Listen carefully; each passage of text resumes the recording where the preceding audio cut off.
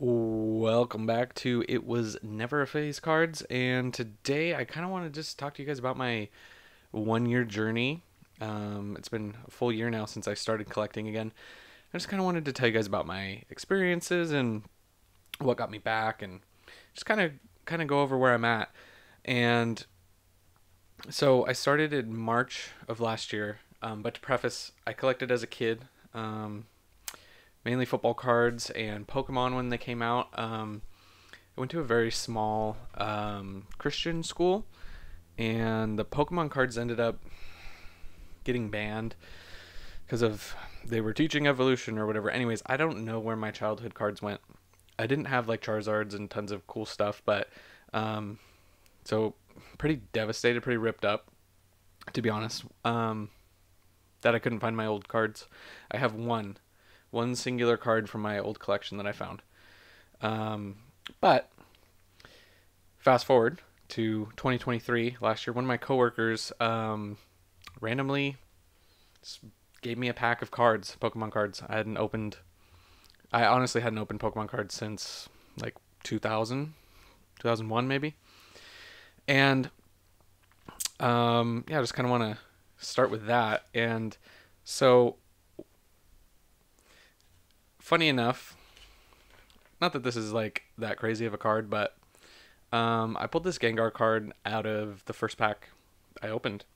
So, needless to say, I was hooked. Um, started started collecting a lot, ripping a lot of packs, um, buying some vintage stuff, but this Gengar card is the one that got me back. Um, so this one kind of means a lot to me. And then I also wanted to talk to you guys about now, this card probably doesn't mean much to you guys, um, but this was when I was at my peak of collecting as a kid in 2002. Um, I remember trading for this card with one of my buddies at school. I actually had to get permission um, from his mom because I was trading like a Donovan McNabb rookie for this. Because as a as a diehard Niners fan, like I didn't care if I was trading down. I wanted Niners, and that's all I cared about.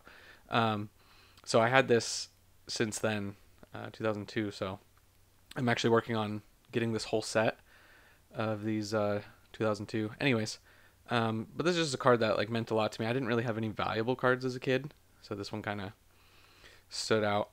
And I wanted to show you guys this card. Um, this isn't the most valuable Pokemon card either. Base set 2 Venusaur. But what this what this base set 2 Venusaur has is an interesting story. So, let me tell you about this real quick. So,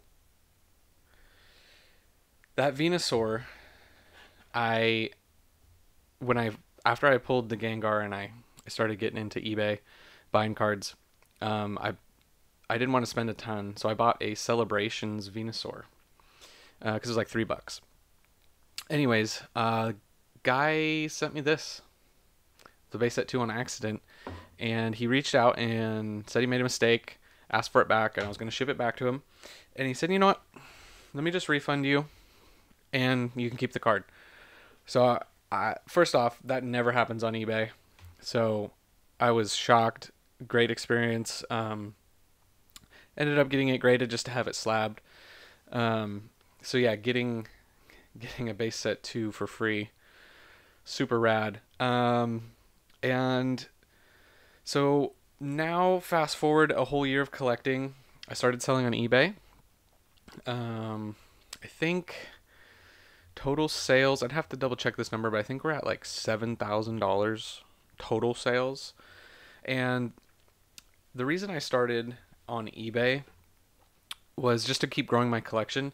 I realized that I could flip a lot of cards, did a lot of grading, and just a lot of flipping in general. Um, sniping guards, getting uh, you know, getting them for cheap, and then just relisting them. Uh, just kind of to grow my own collection. So that's kind of kind of been why I sell on eBay, and I've been, you know, just to grow my collection. I don't really know how far I want to take it, but as you guys can see over here, uh, I have a whole display case, and then there's another one over here. I got two display cases full of cards. um, so it's kind of crazy how you can go from just ripping one pack to a year later. You can have, you know, two full display cases. Um, if you guys are interested, I I do a uh, a full tour of the office here. Let me know if that's something you guys might be interested in. Um, so currently, as of now, I am kind of taking a break from the Niners. I went really hard leading up to the Super Bowl, and I got kind of my heart got broken, literally, but also I kind of got a little soured on it, just because of how I was expecting a win, and anyways, just also realizing that sports card values can be so drastic. So I'm still doing sports cards. I'm still grading and doing football, basketball, all that stuff. But um, I'm just leaning a little bit more back into Pokemon and kind of into sealed product because it's a lot more stable. Charizard can't tear his ACL or, you know, lose the Super Bowl. So plus I love Pokemon. So um, in the bottom of this case over here, I got a bunch of sealed product, booster boxes, tons of other stuff.